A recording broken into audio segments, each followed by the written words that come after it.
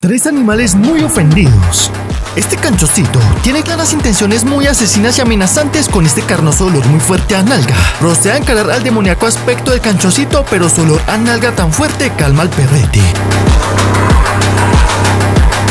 Este zancudo carpintero se encontraba bastante furioso ofendido con este simbionte arbolero, de modo que le mete bastantes puñaladas pitilleras muy furiosamente.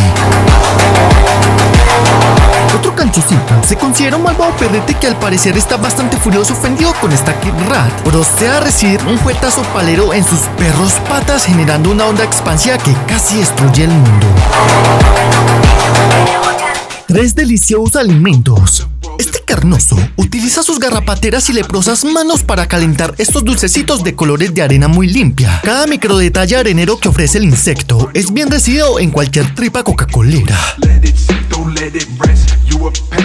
Este carimonstruo es un espectral ser que utiliza todas sus porosidades corporales para amasar este delicioso alimento. Cada astral movimiento tan higiénico ayuda a sazonar deliciosamente esta rica comideta.